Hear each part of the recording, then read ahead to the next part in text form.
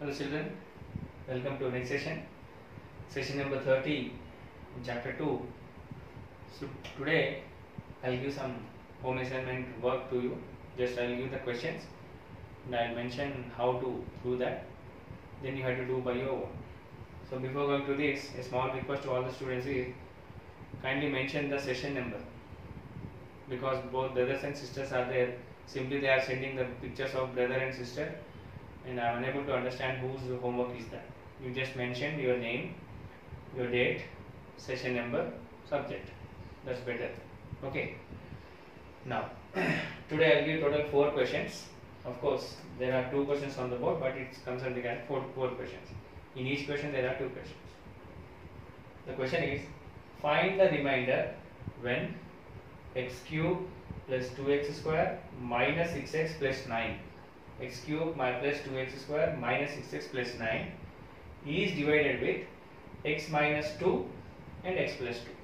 That means you have to take this as p of x. That is given polynomial. And we have to divide with x minus 2.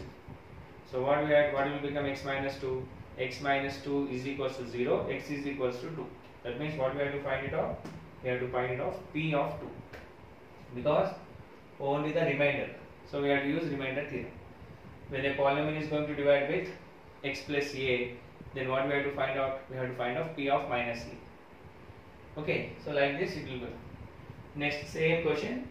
x cube plus 2x square minus 6x plus 9 is to be divided with x plus 2. So that means what we have to do? x plus 2 is equals to 0, x is equals to minus 2. That means what we have to find it of? We have to find it of p of minus 2. Okay. So assume this as polynomial of px and we have to find of p of 2 and p of minus 2. So this is based on we have to use remainder theorem. Now next question. So find the coefficient. So I asked the coefficient. That means what we have to do? You have to do the division. So the division method is there now. We have to take this one.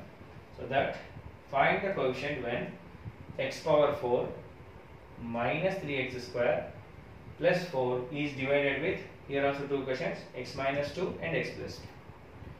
So in this case what we have to do is don't write directly x power 4. What we have to do is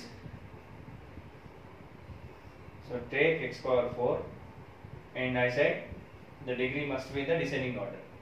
So it's not given so I should take 0x cube plus sorry x cube already is there minus 3x square and x is not given 0x plus 4 this is to be divided with x minus 2 this you have to do. Okay i am giving the clue. Don't write directly you may get confused.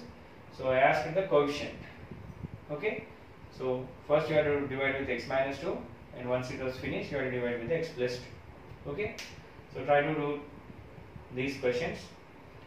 Don't copy from others. In my humble suggestion already i given clue and uh, basing on the previous sessions you made the theorem how to find it off and everything you can do this one. Okay? Hope you will do by your own. So if you do it mistake it's not an issue but don't copy from others. Because if you copy from others you just you don't know the subject. You try to do it. Okay? So in this in the next session if possible i'll try to explain this. If maximum of the students written correct it's okay if uh, ma- many any of the student not written or uh, maximum of the students is wrong then i'll try to explain that and uh, i'll continue the next session. Okay? We'll meet in the next session. Bye